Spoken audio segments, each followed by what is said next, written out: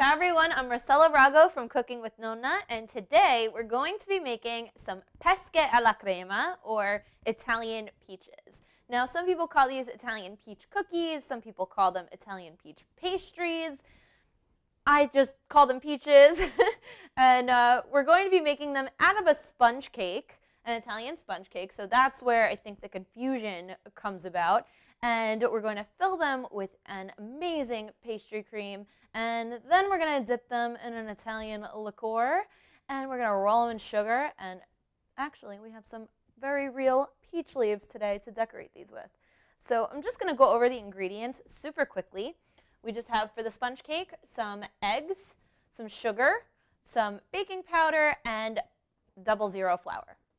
And then we're going to fill it with uh, pastry cream. If you want the recipe for my easy custard cream, my easy pastry cream, we have a link below. I did a video on it. It is quick and delicious and like butter. And then the star of this show is the liqueur that you dip the peaches in. This is alkermes, and a lot of people in Italy call it like bagno per i dolci. It means it's a dip for uh, sweets and pastries. And this is a typical liquor used in Italy.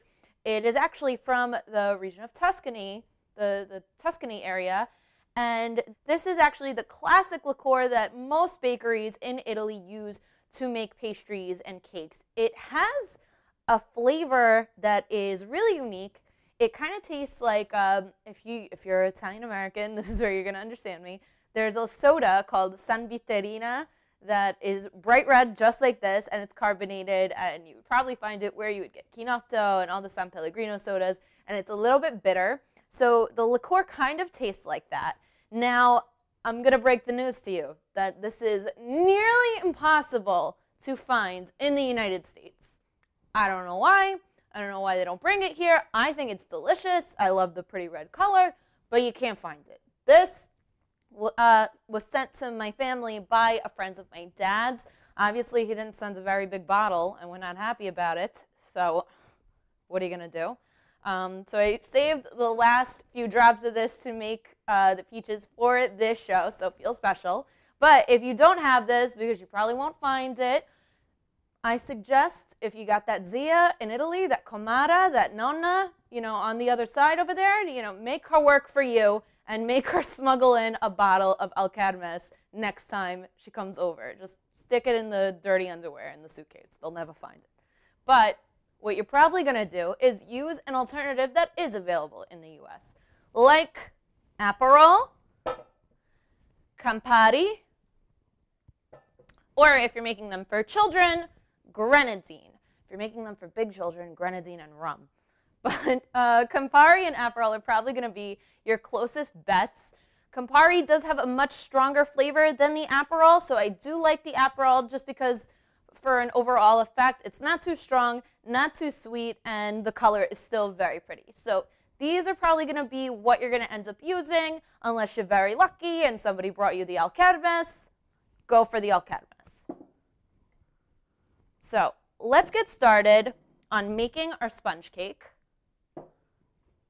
our pan di Spagna. This is my nonna's recipe for pan di Spagna. Going to start with our whole eggs. Oh, and again, for the full recipe and the complete list of ingredients, head to cookingwithnonna.com. There's a link in the box. Thank you very much. Get our sugar going. Ooh. What happened over here? Okay. This is when you use your hands. All right. Now the basis for a pan di any pan di any sponge cake, is to whip the eggs and sugar uh, until they have ribbons. So that's what we're going to do. Going to start a little bit low. And then we're going to crank up the speed for about uh, not always says 15 minutes, but when you see ribbons, sometimes it happens at 5 minutes, sometimes it happens at 7 minutes, sometimes it takes 15 minutes. What do you want me to tell you? Let's just crank it up, and I'll let you know when we're back about how long it took.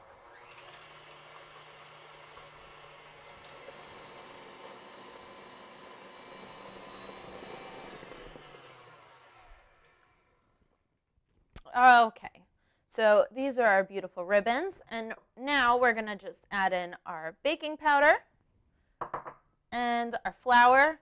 And I'm going to put this mixer on low now. Oops. Okay.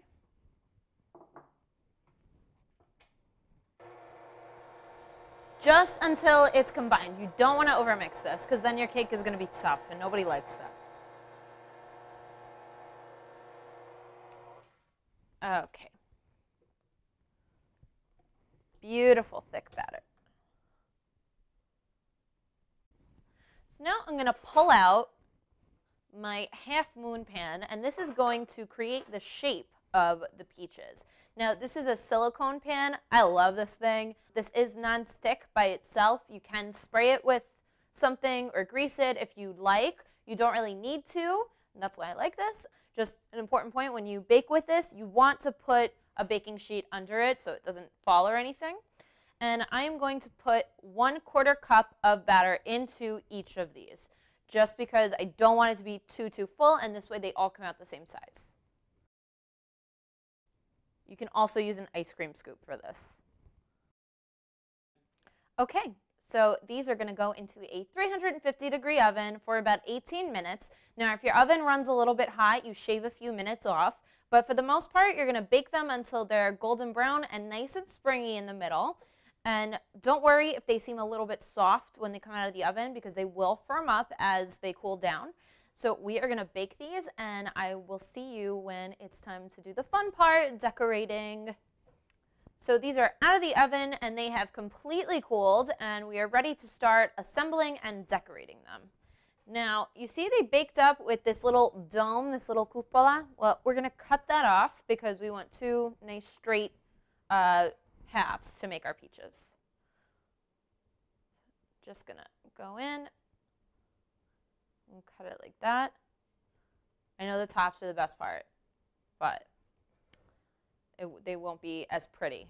So don't throw these away by any means. I mean, save them, zip them in cream, zip them in extra Alkermes if you have them.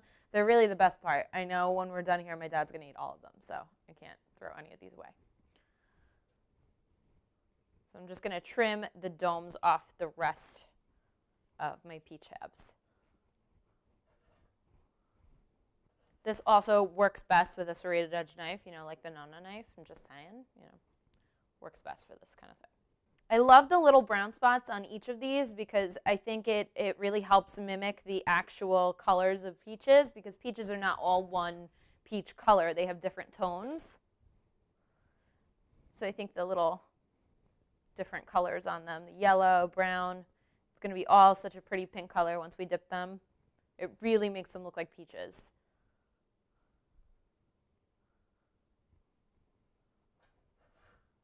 There you go.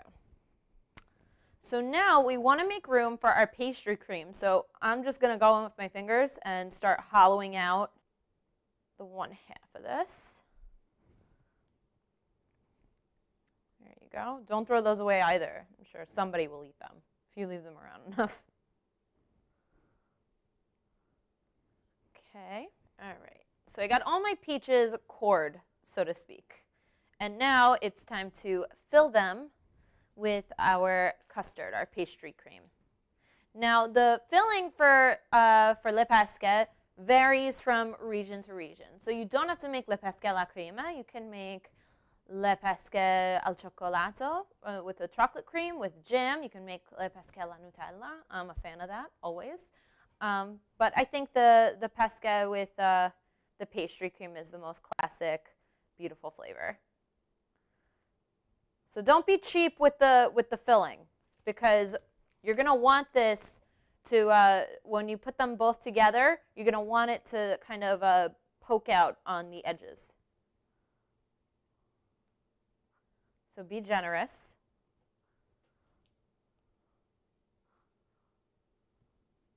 That's also going to help in a more like realistic peach appearance. Beautiful. Put this right over here. Now we're going to unite our two halves. There we go. Doesn't that look amazing already? And these are going to be bombs. Okay.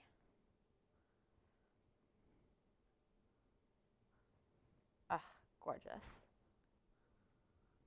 And number three.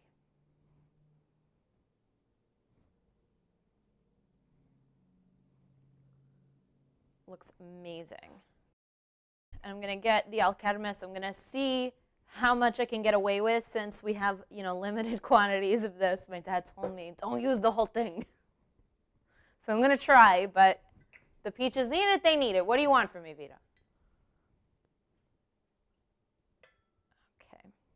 So funny story about Alkermes. It is from the region of Tuscany. It's been around since the Renaissance.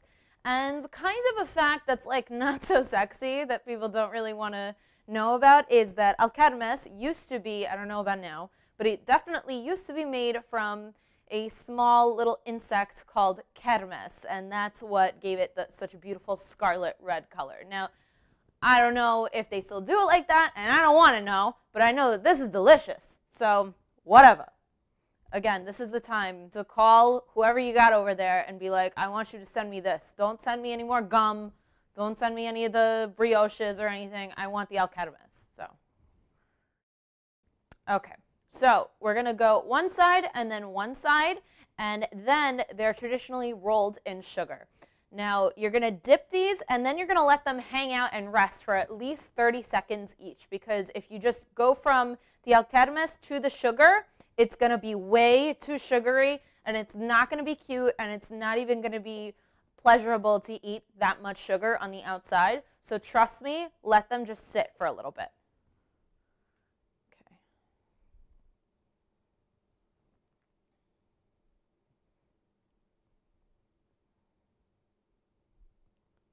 Beautiful color. Oh my gosh.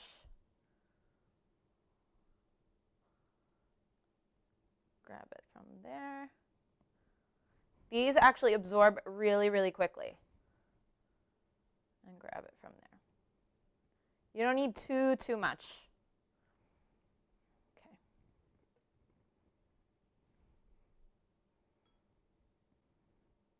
Get any spots you may have missed.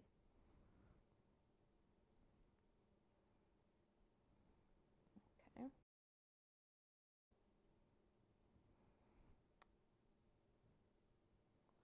Okay.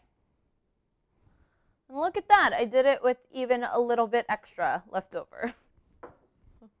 so I'm gonna dry my hands off a little bit, just because I'm not gonna roll them entirely in the sugar. I'm going to pick some sugar up with my fingers, and I'm gonna just drizzle, drizzle all over it and get a nice sugar coating, a nice light sugar coating, because especially on uh, this side like that. That's all they need. The only part that I suggest actually rolling is the middle part so the cream gets nice and like packed in.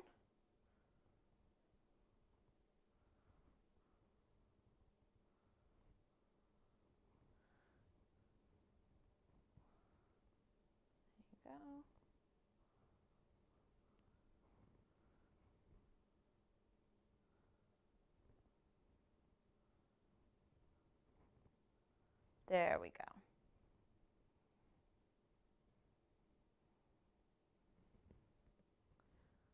Ugh, how pretty does this look already? So cute. So now I'm going to grab just a little paper cup. This is like a cupcake paper. And you're going to place them just like that. So now I'm going to do the same thing drizzle right on the outside. Turn it over.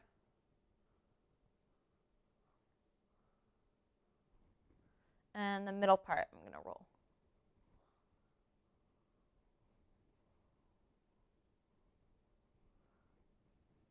This way, it's not too, too much.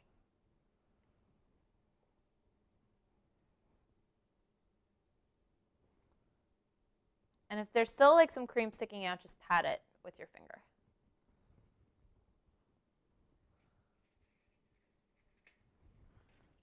Mm, number two. Okay, now these look absolutely beautiful. They just need one more final touch before they're really peaches. Now, these are leaves from an actual peach tree. You don't have to use real peach leaves. They have the wafer ones. Um, I've used basil leaves before. They look really pretty. But these are real peach leaves because my dad's friend Chiriaco agreed to give us some from his very own peach tree. So thank you, Chiriaco and Rosetta. You guys are wonderful.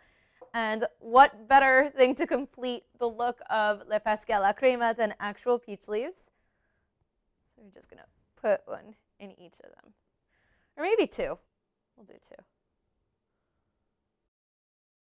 Ah, so pretty.